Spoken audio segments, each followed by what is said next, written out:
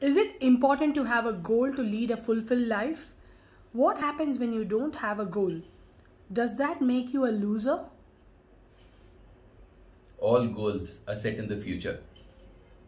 And as I've kept saying, the future is only in your imagination. Fulfillment is only available in the present. So, as long as your fulfillment is going to be always set in your future, how can you call somebody else a loser? Especially if they are completely content and satisfied in the present. Why are goals necessary? Goals are relevant only when you still are under the sway of this illusion called time. In the context of time, you're not satisfied right now, so you imagine that your satisfaction lies in the future. And then you pin that particular imaginary satisfaction with the achievement of something that you call your goal.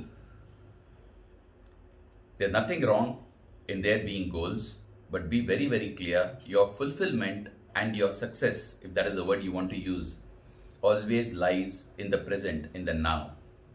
And if you can find your contentment, your peace, your bliss in the moment, you don't need any goals thereafter. Until that is the case, at the very least, keep the attainment of realization or the attainment of your peace or the attainment of full knowledge about who you are, at least keep that one thing as your goal.